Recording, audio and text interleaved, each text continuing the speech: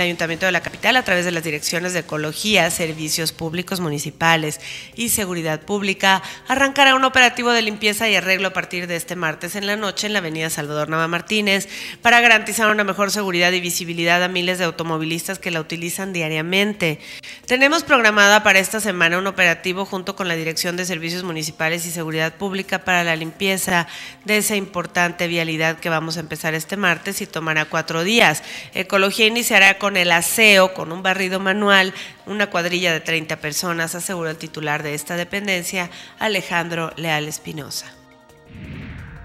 En esta temporada de calor, la Dirección de Protección Civil Municipal recomienda a la población en general del municipio de San Luis Potosí adoptar las siguientes medidas, como son hidratarse constantemente con agua natural, utilizar gorra o sombrero, así como indumentaria de color claro, y si es camisa, preferentemente de manga larga para evitar que los rayos ultravioleta generen daños en la piel. De la misma manera, se recomienda evitar exponer al sol a niños menores de un año, ya que los daños pueden ser mayores por su piel sensible, y en caso de que en esta temporada de altas temperaturas se presente el efecto del golpe de calor,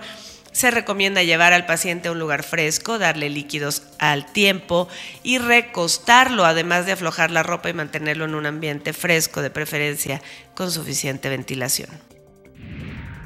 regidores capitalinos están atentos de la construcción de los puentes peatonales que se instalarán en la avenida Muñoz como parte de la modernización vial de esa zona y la carretera 57 a la altura de un centro comercial del oriente de la ciudad. Al respecto, el regidor Oliver Mead Herbert dijo que estos puentes siguen pendientes, pero pedirán a la dirección de obras que inicie su instalación a más tardar este mes, además de que darán seguimiento especial a la obra de avenida Muñoz, en la cual señaló se detectaron diversas irregularidades. Hasta aquí las noticias.